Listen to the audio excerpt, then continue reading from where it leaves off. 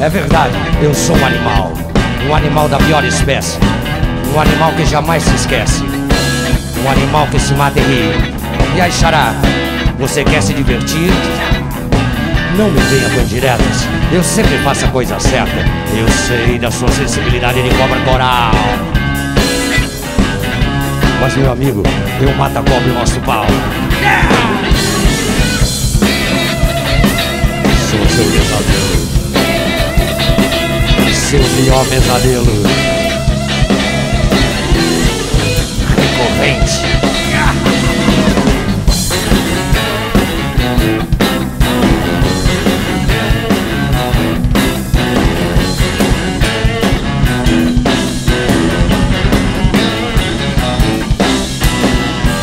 Você quer saber o que eu tenho e você não tem? Isso não conto pra ninguém.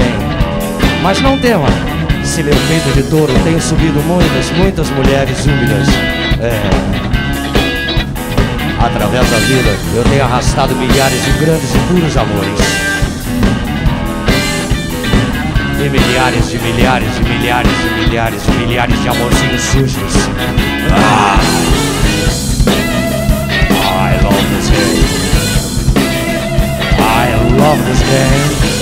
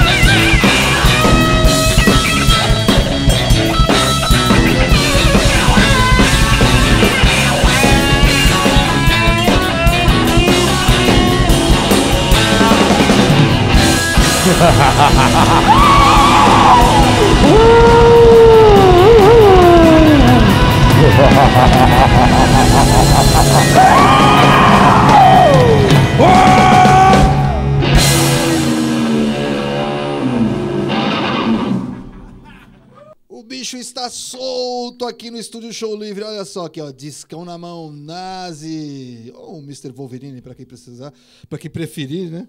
Tudo bom, velho?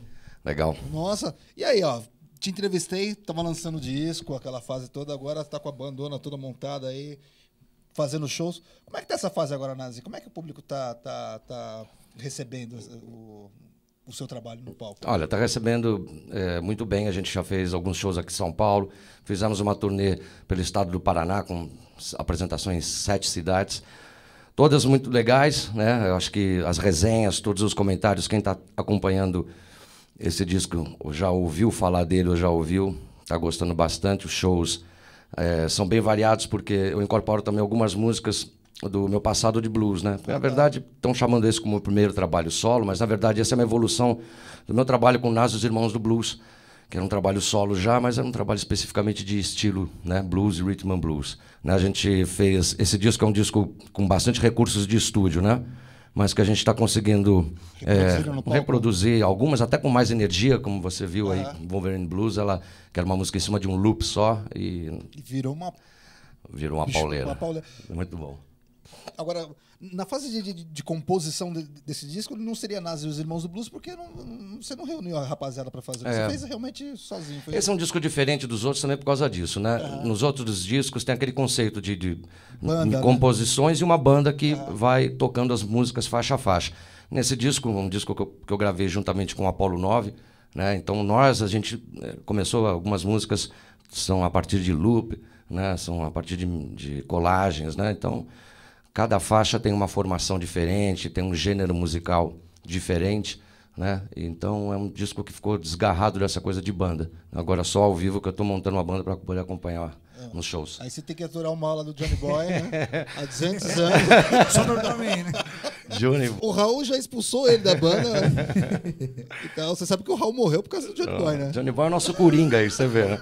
Guitarra, violão, teclado, voz, uma sanfona, daqui a pouco pinta também. É um prazer estar com moçada aí. É legal que ele não, ainda bem que ele não xinga, né? Boy. 18 anos de experiência.